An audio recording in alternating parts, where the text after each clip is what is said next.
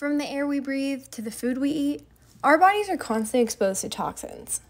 That's why today we're going to show you how to make a delicious strawberry detox lemonade packed with ingredients that can help your liver do its job of filtering out these harmful toxins.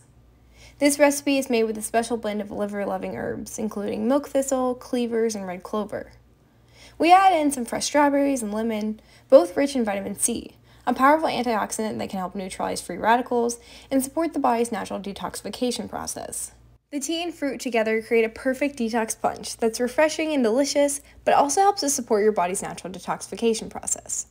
Find the full recipe in the description and share this if you found it interesting.